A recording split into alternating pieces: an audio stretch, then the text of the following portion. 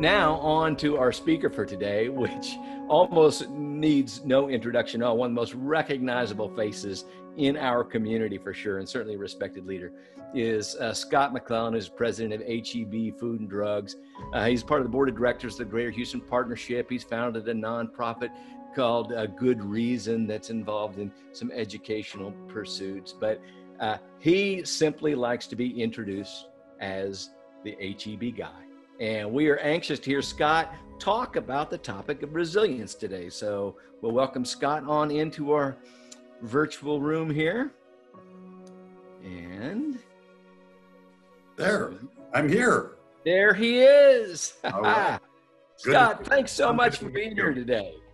Good to be with you and everyone else today. Well, and uh, yeah. thanks, folks, for taking time out of your schedule uh, to visit for a little while. And, you know, as I thought about things to talk about, I have a bunch of canned presentations, and I thought, you know, right now, I think what could be beneficial for people to hear about is resiliency. Uh, because clearly, I think for most people, 2020 has been a year unlike any other. You know, and if you uh, look in the book of Psalms, it talks about to be resilient, you have to be strong in the Lord. And no question, I think everyone's faith has been tested to a certain extent just in the changes of our lives that we've seen come over the course of this last year. It's been difficult, it's been hard. None of us like wearing masks. And the way in which we just do life has, has changed quite a bit. But one of the things that I've really come to realize about myself over the course of my life and my career, it's that when times are the toughest, it's really when I've learned the most about myself.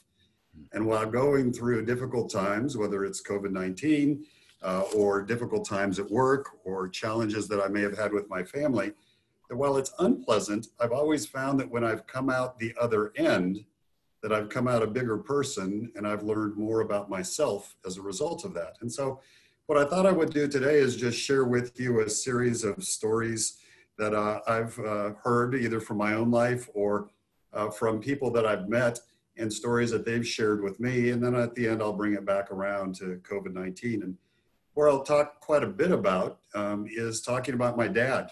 Uh, since I was born my father's son, I thought I'd talk a little bit about his life and some of the things that uh, affected him in his life that went on to affect me. And even though he's been uh, dead now for 15 years, it continues to do so in a significant way. Uh, my dad was born in a two room house in rural Missouri in 1912, and he was the youngest of five children. The house didn't have electricity or running water. In fact, when I went back to visit it when I was five years old, it still didn't have running water in it. Um, his dad went on went to dig the Panama Canal when my dad was uh, very young, and he left his mom behind to raise five kids on a farm. His oldest brother died when he was three, and when his dad returned from Panama, his mom had a nervous breakdown. They didn't have much. When my dad was five, uh, they raised hogs on their farm, and he ground off his index finger in a corn chopper while he was grinding up corn cobs to feed the pigs. He had a lifelong nickname of nine and a half, where he was missing his index finger on his uh, on his right hand. Uh, but he made the best of it. He uh, certainly had a lot of fun with uh, uh, showing young kids how he could make his finger disappear. Um, his parents sold uh, my dad's horse when he was 12 because they didn't have enough to eat. And when my dad was 14, he ran away from home and he hitchhiked from Rolla, Missouri to Detroit to try to get a job in a car factory. They wouldn't hire him because he was too young, and he lost a little bit of money that he did have with him shooting dice on the corner with a guy who had crooked dice. So he was hungry and he hitchhiked all the way back to Missouri. You know, in, in punctuation, a period is defined as a full stop at the end of a declarative sentence. And in life, uh, there are many periods that mark a dead end for us, uh, potential to just stop your progress. progress. My dad had a lot of these in his life, and his first attempt at breaking out of poverty was met with complete failure as he hitchhiked back from Detroit back to the farm he came back and he went to school in the one room schoolhouse in his town. He always told me he was the third best speller in his class. His graduating class had three people in it. uh, he graduated from high school at 17, and the day after he graduated, he got on a train and he rode it to California. See, one thing about my dad, and I think one of the things you'll hear over the course of these stories, is he kept his options open. He didn't have anything, so he really didn't have anything to lose. The year he went to California was 1921, and the country had just fallen into the Great Depression. My dad moved in with four other guys and found a job uh, in a laundry.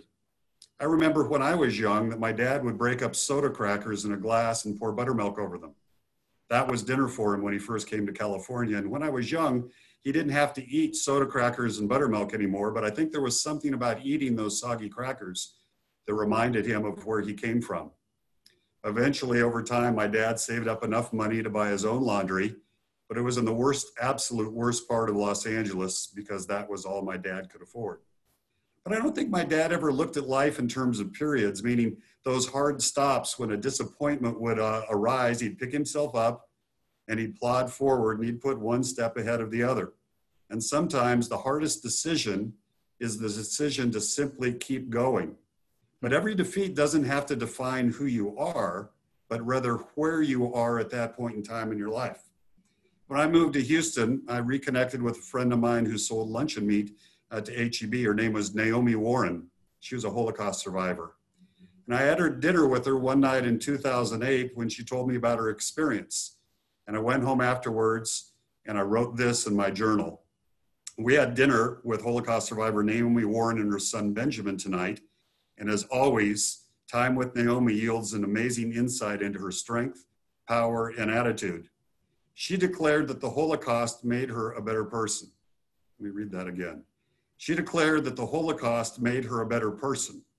Naomi commented that she was raised spoiled and self absorbed, and the Holocaust experience led her to be not only tougher, but also more empathetic. And she said that after World War II, she got on a boat and sailed into New York City. And when she saw the Statue of Liberty, that she made a decision that while she wouldn't forget her past, she was going to live her life looking forward. She wondered out loud how much longer she could stay alive when she was in the concentration camp. She said that when she woke up in the morning, she's glad that she uh, um, she, she would see herself in the window as she walked by, and she would see someone who was thin and that she just didn't even recognize. Um, but she said, even in these later years in her life, that um, when she gets out of bed, sometimes she doesn't feel well, but she puts one foot in front of the other, and she knows once she gets going, she'll feel better. I wonder if she felt the same way about the concentration camps and whether this is how she was able to survive. Or as my wife sometimes says, motion is the lotion. If you'll just get up and get going, eventually momentum will carry you through the day. I don't ever remember my dad complaining about anything. He just didn't. He just put one foot ahead of the other. When I was 11, my dad developed a growth on his prostate gland and he went in to have a biopsy. During surgery, a blood vessel was ruptured and my dad bled out and he died.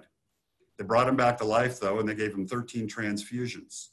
He survived, but he had so much scar tissue in his urinary tract that it would take him 30 minutes to urinate.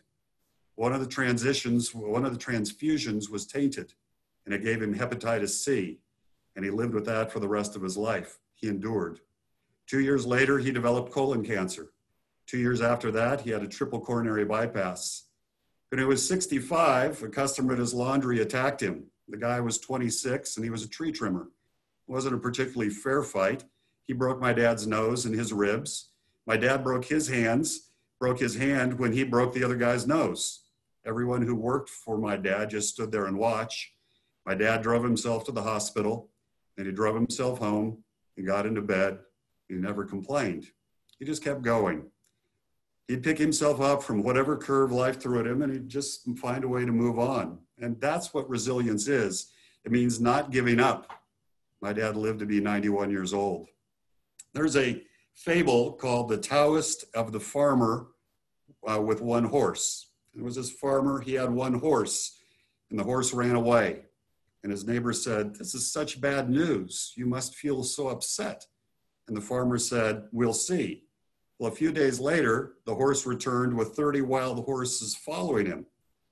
Uh, and the man and his corral and his son corralled all 31 horses. And the neighbor said, Congratulations, this is such good news. You must be so happy. The man replied, We'll see. Well, one of the wild horses kicked the man's son, breaking both of his legs. And his neighbor said, This is such bad news. You must feel so upset. And the man said, We'll see. shortly after that, the country went to war and every able, every able-bodied young man was drafted to fight. Uh, the war was terrible and killed almost every young man, but the farmer's son was spared because his legs kept him from being drafted. His broken legs kept him from being drafted. His neighbor said, congratulations, this is such good news, you must be so happy. The man said, we'll see. And that's the end of the fable. Saying we'll see has the same characteristics of not knowingness that resiliency has. Things are really never as bad as you think they are, and things are never as good as you think they are. The key is to find a way to just keep moving forward. My dad had a rule that when uh, you either went to school or you worked, you didn't sit around. And in the summers, I would go with him and sort the dirty laundry or ride with the route drivers in the summers. I got a paper route when I was 11, and I had about 100 customers on my paper route. And sometimes, if the weather was bad, my dad would drive me in the back of his station wagon and I'd throw papers out the back. Frequently, the newspaper would bring what they called ad inserts, like supermarket ads, that I would have to insert into the newspaper. And this wasn't the best part of having a paper route. And one, every once in a while, what they would do would be to circle back around and give me a second set of inserts. So after I had finished folding all my newspapers, they brought another set of inserts that I would have to go back and put in a second time. Well, I just went on a rant about this at the dinner table, how I wasn't going to put that second set of inserts into the paper. I was mad and I vented. And apparently I did it for too long because my dad eventually had enough. He reached around and whacked me upside of the head. Food went flying out of my mouth. It was raining that night. He told me I could deliver all the papers on foot. I never complained again. When I was 16, he'd heard that a steel plant near where we lived was hiring and that the pay was good because it was a union job. Told me to go fill out an application, so I did. And that night when I got home, he asked me if I got the job. And I said they told me that they'd call me. He told me to go back down the next day and ask if they'd hire me. I told them they said they'd call me. He told me no, I was going to go down there and go in person. I didn't want to go. He told me to go anyway. So I went back to the steel plant for five days in a row and asked for a job. They finally gave it to me as a janitor on the swing shift, making $4.78 an hour. I think it happened because they just got tired of seeing me in their waiting room. My dad said it was because I persevered. But here's what I learned that summer. You get one sponge and use that one sponge to clean the urinals and the toilet seat and the drinking fountains. And I really have never taken a drink out of a drinking fountain since the summer of 1973. Earlier this year, uh, NBC affiliates were in town, and K uh, uh, Channel 2 asked me if I would come and speak to their general managers. Uh, I didn't realize it, but Hoda Kotb was on the same program that I was on, and I got a chance to meet Hoda, who is even more delightful in person than she is on the Today Show. And she told the story that evening of searching for her first job when she got out of college. She uh, graduated from college and drove through the South and was turned down at 27 different stations over 10 days before she landed her first job. She said she, that she was told she wasn't Roanoke enough, if that's even a thing. She was driving through the South searching for this job, and she went through Greensville, Mississippi, which I like to think I know my geography, but I didn't know there was a Greensville, Mississippi, or that it was an MSA big enough to have a TV station. But there was a billboard there that said CBS has its eye on you, so she stopped by the station. And the station manager was a guy named Stan Sandroni. And he said that they were looking for someone as a writer, and he took her tape and he watched all 30 minutes of it. And Hoda said, nobody watches 30 minutes of a, of a, uh, uh, of a tape. And he told her, I like what I'm seeing. And two weeks later, uh, while she was sitting writing copy, the station manager, Stan, came up and asked her if she had a blazer. And she said, You mean a sport coat? And he said, Yeah. And she responded, Yeah, I do. Said, That's good because our anchor, Ann Martin, is out sick. So you're going to be doing the news tonight. Hoda thought, who knew that all it was going to take to get onto an anchor desk at a TV show on a TV station was to have a navy blue blazer. So she got on the air and sat down at the teleprompter and she opened by saying, This is the news, and I'm Ann Martin. It went downhill from there. She said that the newscast was like riding a toboggan down a series of bumps. And after the newscast, she went to Piggly Wiggly, and a disheveled woman in a housecoat and no teeth came up to her and told her that she'd seen her on TV that night and said, Bless your heart, maybe you'll do better tomorrow. Hoda was sure that she was going to be fired. But she showed up the next day, and the station manager asked her if she still had the blazer. Hoda said she did, and he told her that Ann Martin was still sick and he'd give her another chance. You see, you never know when your chance is going to come, regardless of where you are in terms of your life. I don't know if you know what an ellipsis is, but an ellipsis, uh, if you send a text to someone and someone is writing a text back to you, an ellipsis are those three dots that you see at the bottom of your phone. I use them frequently when I'm writing an informal email and my thought isn't fully complete. A period signifies the end of something, but an ellipsis shows that there's something more to come. And I don't know about you, but when I send a text to someone and I see those three dots, the ellipsis show up on my screen, there's somewhat of a sense of anticipation like, I wonder what they're going to write back. Without knowing it, I think my dad looked at life as a series of ellipses. But the way he did it was to insert the word yet when it came to the end of a sentence. Those were his three dots. Saying yet opens a dialogue where possibilities can happen. Saying yet lets, lets your mind think that you can, even when you think you can't. So, unlike us, there weren't any training programs in the laundry that my dad owned. There weren't any mentor or support groups back in the 30s, late 30s, when he bought his laundry. He didn't have the safety uh, net of a corporate infrastructure to turn to and ask questions for help. He was out there on his own trying to figure it out as he went along with a daughter at that time, no son, because my sisters get this 18 and a half years older than I am. Uh, talk about being a mistake, that would be me. Well, early on, my dad couldn't afford his bookkeeper, so he said, You know, I don't know how to keep the books yet. When he bought his first laundry, he really couldn't afford to pay for somebody to repair the equipment. And this was a conundrum because if the equipment didn't work, he couldn't uh, he couldn't clean laundry, and so he had to learn how to fix the machines. He just didn't know how to do it yet. When his spotter, that's the person who takes the spots out of the dry cleaning, didn't show up to work because he was hungover, my dad had to learn how to spot. He didn't know how, but he didn't know how to yet. And when his business changed over time and women started working, his delivery business dried up. My dad didn't know anything about strategy or analysis yet. See, he wasn't an accountant or he wasn't a mechanic. He was 17 when he graduated from high school. For all of us, the goal isn't to be perfect because we're never going to get there. The goal is to just be a little bit better than you were before. And my dad adopted this philosophy of doing things he'd never experienced in order to navigate forward. When things got hard, often it's just a matter of having the grit to stick with it and put that one foot in front of the other especially when it's unpleasant or you've undergone disappointment. This story, what you're going through right now in 2020, uh, whether it's really good or really bad, it's not your last story. And adding in the simple, simple possibility that you might succeed if you just keep going sometimes makes it happen because you just don't know. We often look at people in terms, successful people in terms of them being products of their success after success after success. But what we're really looking at is people who are just really good at moving through failures because moving through failure is often the real success. Resilience is the real success. And failure and losses are part of the process for anyone who's willing to try. I mean, if you look at Cy Young, he had the most wins in Major League Baseball, 511. He also had the most losses. Nolan Ryan had the most strikeouts, over 5,700, but he also had the most walks. They just played the most of anyone in baseball. And for us, many times it's about showing up and being there getting back into the game, even when you've been knocked down. I remember when I ran track in high school and I couldn't break the five minute mile as a freshman. I remember my dad reframing the issue in terms of, well, you just haven't done it yet.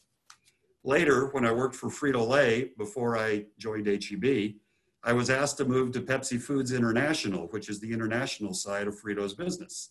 They asked if I spoke Spanish. Well, I'd taken Spanish in school, and when I worked for my dad's laundry, I had to speak Spanish to the other pressers. However, there's a difference between speaking Spanish and being bilingual, and semantics are important. They didn't ask me if I was bilingual, even if that's what they meant. So I said, yes, I speak Spanish. In my, my mind, I was thinking, yeah, I'm not bilingual yet. The idea of inserting the word yet into situations that haven't worked out can give you the strength to keep going.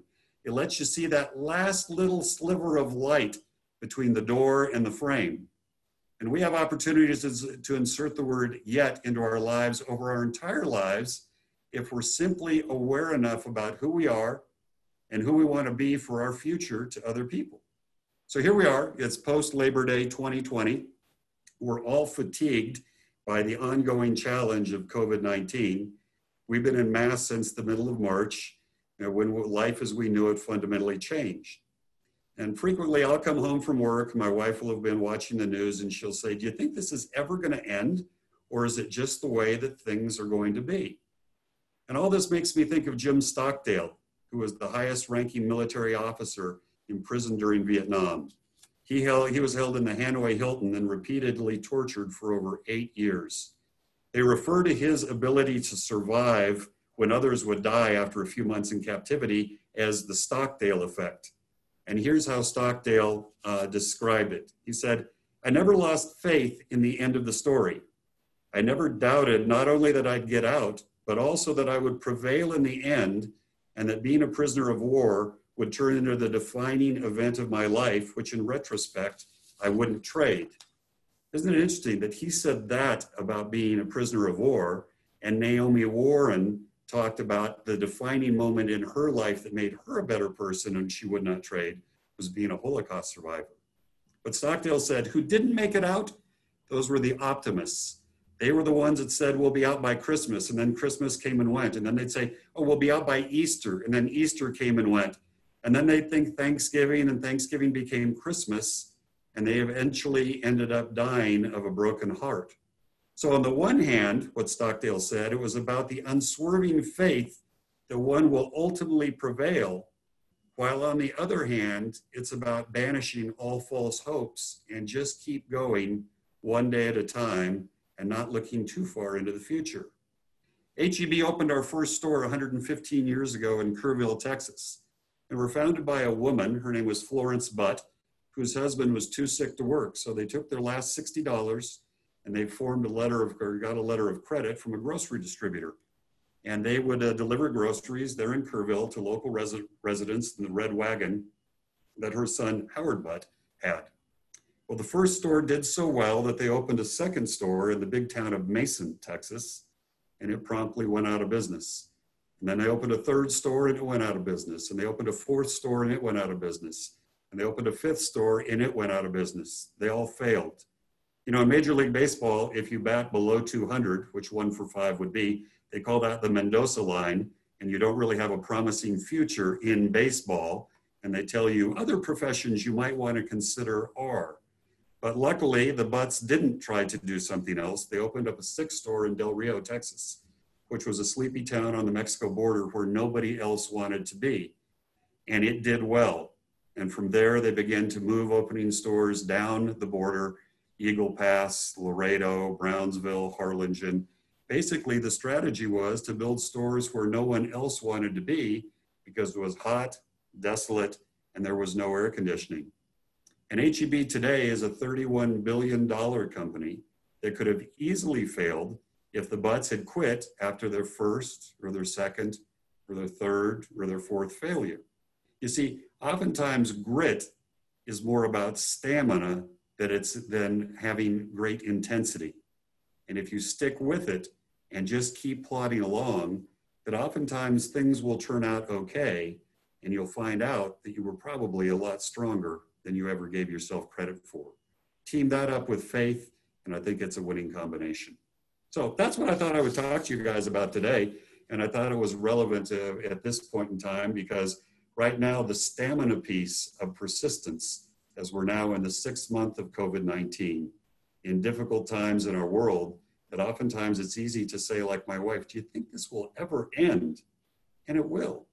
And we can play a part, I think, in terms of shaping better lives, a better life for ourselves and those who are around us. So thank you. I don't uh, Tom, do you want me to take any questions about anything? Yeah, absolutely. And ladies and gentlemen, if, if, for those who are tuning in, if you have any questions, you know, there's a little Q and A uh, bar down at the bottom. Well, people are doing that. One of the things that I think is interesting, if you look at this summer, we had COVID. Then I'm reading the news, and then you start to hear about hear about the killer wasps that are coming to Texas. Then you hear about obviously the hurricane that we just went through Luckily, we sidestepped it in Houston, but in our stores that are in the Golden Triangle, maybe one of the most misapped named places in the United States because there's not much golden in terms of the aesthetics of uh, Beaumont, Port Arthur, and Orange. But it took a pretty strong shot with the hurricane. And you start to think, how much more are we going to be tested by? And I think what we found through each one of these is because we knew how to do a hurricane, we weren't sure we knew how to do a hurricane uh, during a during a COVID crisis. And uh, thank God that the wasps stayed up north and they didn't come down this way. Yeah, absolutely. Can I tap yeah. on the Q and A here? Let's see. Yeah, or I, or I can ask them to you. Yeah, I can just read them to you. So one would be, uh, can you tell us a little bit about your nonprofit work? You know, sure. good reason or any other things you're involved in. Sure. Um, good Reason Houston is a nonprofit that we developed um, simply because one of the one of the amazing things about working in a supermarket is that I get to work with people of all shapes, sizes, ethnicities, and where they come from on the economic scale. Um, and that's one of the things I love most about working here. But generally, people don't say, oh, when I grow up, I want to work in a grocery store. Um, people end up going to work part time in high school and then they find out that they like it. And I always know we've got them when um, they say, Oh, I was on vacation. I saw this great grocery store. That's when I know they're fully invested in working at HEB. But uh, only 30% of my store managers have college degrees, but they all have advanced degrees in, uh, in common sense. And the majority of them are running businesses that uh, run between 50 and $100 uh, per year per store, given our average weekly volumes that we run. But what I've come to realize is, is that, uh, look, you can't choose your parents and you can't change, you can't choose the zip code that you were born into. And while I've been lucky in my life, in part because I had a dad who pushed me and I had good teachers along the way that took a real interest in me, was that I was able to jump, jump socioeconomic classes in my life and live the American dream.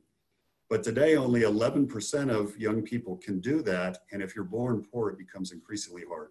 And so, what Good Reason Houston uh, works to do is to say that all kids, regardless of your parents, regardless of your zip code, have access to a great public school education, whether that comes in the form of a charter school or a traditional public school. But today, only 40% uh, of third graders in HISD read at grade level in the third grade. Only 20% of high school graduates in the greater Houston area go on to achieve a two-year or four-year degree uh, within six years of graduation, yet 60% of all the jobs that have been created require one.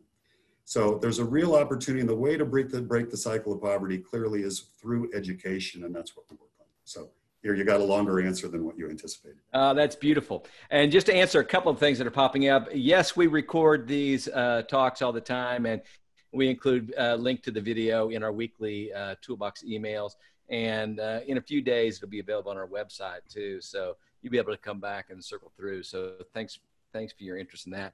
I'm going to take something and try to condense a few of the other questions I see here, Scott. And one would be this I love that expression, motion is the lotion. I'm sure I will steal that and use that uh, somewhere along the line. But, but we talk about the, the role of faith and perseverance or resiliency. And, and uh, I'm, I'm sure you've been living in a world where there's tons of pressure on you and in the midst of all things. So, what about those days where you just, you just you just don't have it to get up and do the next thing you know when you're having or, or for a person who's saying i'm trouble getting to the i'm having trouble putting yet in right now i'm kind of in a hole you know yeah. any any kind of insights and experiences there you might share and, and, maybe whether it's faith or yeah look look i think we all have um, uh, we all have times in our lives where we're dealt a serious blow whether it's professionally or uh, or personally um, uh, I've gone through them in my life. You've gone through, anyone who's on here has gone that. And you think to yourself, I'm not sure I can make through this. And I think, obviously, searching to a higher power, uh, asking for God's help and, and, intervention in terms of helping you to get up. Uh, but oftentimes people will tell me, you know, shoot, I, I remember I worked for a guy who didn't get a promotion once. And he, and he was so mad, he just went home that day. He just left work and he went home. And, and I've always thought, you know, when we're dealt disappointment, we really have three viable op- or three options. Not all of them I think are viable. Uh, one is to quit, and and that happened to me once at HEB. That something happened at HEB, and I so I went back and I said, look, this may not be working out for you. It may not be working out for me. You know, maybe it might be best if I moved along and, uh, and went to the next place in my life and my career. And so, you know, quitting is an option if something is violated in terms of a trust or you can't see any possibility for a better future is that sometimes quitting and looking for the next open door can be a decent option. Uh, another option that I've seen people do is pout. That was my boss who went home that day. I just don't think that's a particularly viable option. Like uh, you get a, you get mired down in self pity of feeling bad for yourself, or the other way is to pick yourself up and dust yourself off. At one point, um, I had been being groomed to be the president of HEB, and a woman was promoted ahead of me, and I, it was a dark day. And I remember shutting my door and sitting in my office for a few minutes and just thinking, like, what is the appropriate response here? And I didn't necessarily see what was going to be served by leaving or by pouting. So I called her up and said, look, I want to let you, I want to congratulate you and let you know I'm going to work as hard as I can for you for as long as I'm here. And that's my commitment to you and uh, and it was one of those things of fighting through the pain. I remember my daughter got cut from the dance team when she was a sophomore, and she said, "I just can't go to school tomorrow. I'm too embarrassed." And I think what I've found through these situations is that if you'll just force yourself, that oftentimes from somewhere in the depths of you, you find the strength to go on, and then you end up learning more about yourself and the potential of what it is you can overcome, whether it's physically or emotionally and it's not fun to have to go through and do. But I can look back on the times when I have had my greatest failure and I can draw upon what happened and use that as learning to either ensure it won't happen again or look at how I can do things better in the future. So I guess that's the way I've kind of looked at it. Yeah, that's excellent. Good. So uh, somebody wants to know if you had the opportunity to talk to anyone from any time. Uh, if you if you could talk to anyone who ever existed, uh, who would you talk to, and what's the one question you'd want to ask them? Boy, that's a deep one. Isn't that that's a good really one? That's really a hard one. Uh, I don't know. You know, I, just off the top of my head, I would probably go. You, you, think about somebody who really had to persevere and overcome difficult times in our country would have been Abraham Lincoln, and how he had. Um, how he had the fortitude to keep going when so many people on both sides of the war were being killed. Um, and, and the fact that there wasn't always great support for what he was doing. And he had a cabinet that didn't always agree. And so as a result, he had to at times work in it. And so, like, how did he do that? And especially at a time, you know, 150 years ago or more, 170 years ago, I guess now, uh, at a time when there was really there weren't leadership books there weren't seminars. You had to draw on your own instincts. And who did he turn to eh, when he needed strength? Uh, uh, what uh, uh beyond obviously abraham lincoln was a religious uh, man but beyond uh, looking to god that where else did he draw his strength and his fortitude from? So i guess off the top of my head that may, might be the first place i'd go to. Yeah that's great that was really good. Uh, uh, several people want to know. This is just this just just us gawkers looking on. Several people want to know what it's like to do commercial with hotshot professional athletes. yeah, well, so you, you, talk about the change in COVID. I just did commercials last week with uh, Deshaun Watson and Justin Reid, but I did it via Zoom, just like we're doing right now. And it's so interesting because you have to set up a little iPad. It was just me and my computer. And then my wife had a sewing light that I put on myself. And my wife did my makeup for me. Uh, and uh, so I wouldn't shine on my forehead like I'm doing today. And, you know, so then you're getting cues and, and feedback from someone over an iPad while you're trying to do a commercial. And part of this ad is, is nonverbals. Like they go, okay, we want you to look confused. I'm like, well, I look confused all the time anyway. This isn't acting. But then we go like, and so for like two minutes, I just had me do different takes of looking confused. But I will say, uh, one of the the real great joys of moving to Houston. You know, when I got asked to move to Houston 20 years ago, I lived in San Antonio, worked for HEB, and I went home. I said to my wife, "They're asking us to move to Houston. We need to come up with a reason not to go. We don't want to live in Houston." And we couldn't come up with a reason, so we went. And a year later, my wife and I looked at ourselves and said, What are we thinking of? This is like the best place we've ever lived. It's just humid, that's all. And so then you know, we decided that we would have someone from HEB be in the commercials, and they said we need somebody who's willing to be self-deprecating and and uh, and is a little bit of a ham. I said, well, that sounds like me. I guess I could do that. And so we started doing these ads, and clearly I've gotten to meet so many interesting people, and I've enjoyed maybe other than Brock Osweiler, every single one of them. And again, no one in Houston liked Brock Osweiler um, when he was with the Texans, but uh, every it's like each star has been better than the next. And I, I would say, if I had to pick a single favorite, it might be Deshaun Watson. And not that he's the best actor. I mean, look, when you see him interviewed on TV, he doesn't have a big personality he reminds me a lot of Tim Duncan when I lived in San Antonio, in that he's understated, but so committed to what it is that he does. Deshaun's strong in his faith. Yeah. Um, he's certainly grounded. And you can just see his commitment in order to raise himself up because you think about somebody who's lived a difficult life he has. But you can see that it doesn't go to his head. I don't know if you saw last week that someone was getting evicted out of their apartment and and uh, Deshaun, like, this is terrible. Let me see what I can do to step in and help. And, and it, what has been interesting to look at sports stars is many of them get it. Like a Vince Wilfork wasn't the best player, but he was so outgoing and worked hard to make the experience of being in an ad not just good for himself, but good for us. It made me want to come back and find other things that he could do so that his career extended beyond the playing field. And I think Deshaun is that way. Clearly, J.J. Watt has been the master of it. And so I don't know. I always say, look, if if if my daughter brought home Deshaun Watson and said, "This is my new boyfriend," I'd just be so proud because I think he represents the NFL well. I think he represents the city of Houston well, and he clearly represents the Texans well. Yeah, that is great. Man, I thank you so much for, for taking time on those things, and and there's more, but I'm sure we're, we're about out of time. But I, I, thank you for the topic, the, the stories about your dad, and that you had this model to look to.